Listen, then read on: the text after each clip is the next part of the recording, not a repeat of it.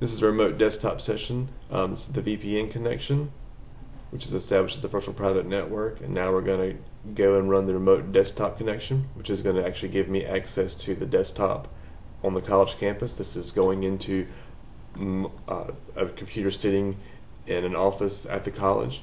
I'm going to log in as if I was at my computer in the morning. Now I have access to the desktop. This is the full desktop all my applications, all my files are there. Um, any network resources are there. Uh, there are all the network drives. All this uh, depends upon with speed, uh, the speed of your computer on both ends, as well as the available bandwidth between the two. Um, so it's of course best to have as much as possible. Um, along with network resources, you have access to things like Datatel. Um, any application you have installed, you have access to. This actually runs uh, in its own little window inside of uh, my local computer, and so I could actually minimize uh, this window and, and work locally or go back and forth or drag files back and forth.